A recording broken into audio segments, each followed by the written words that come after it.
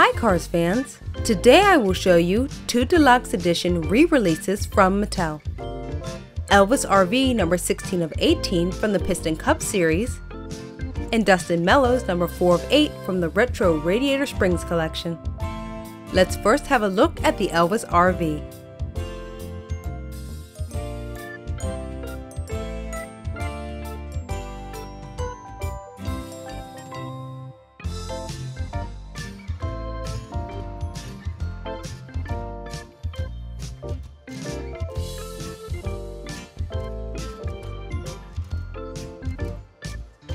And now we'll check out Dustin Mellows.